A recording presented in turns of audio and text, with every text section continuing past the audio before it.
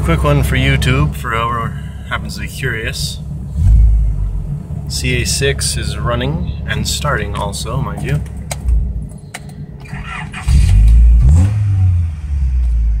Battery light comes and goes. I think it's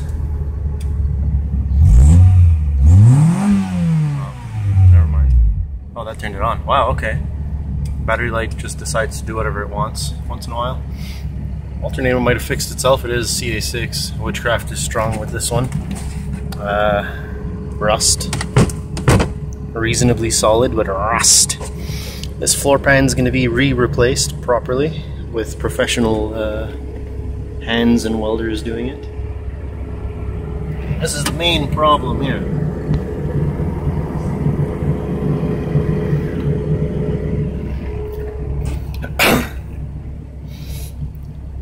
Obviously, that's going to need, uh, well, anyway, replacing. Back corner there is worse than I remember.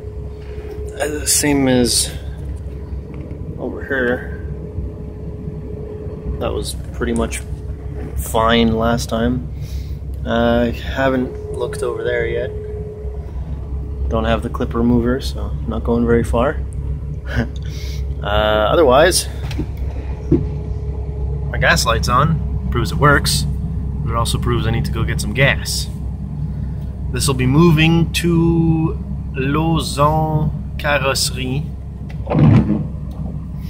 uh, within the week, and work will begin. I was going to do it myself, but I mean, freaking hell.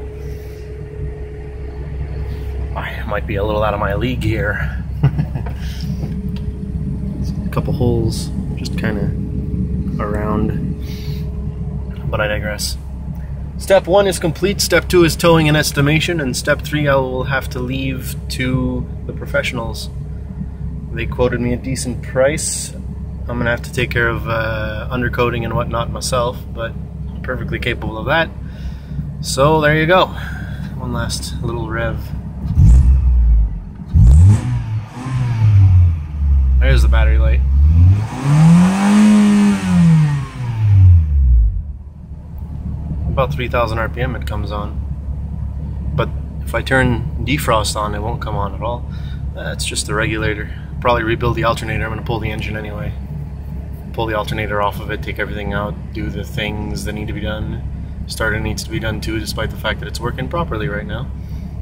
She comes and goes. Pop-ups still work. Which is, of course, quite strange considering the condition of the vehicle.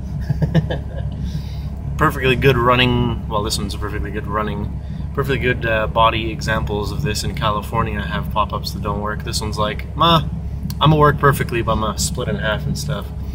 Anyway, it's supposed to be a short video, so there you go. Uh, that's about it.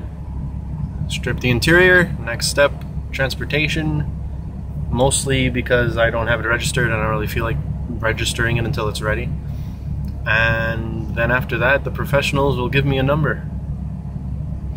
There you go. Have a nice day.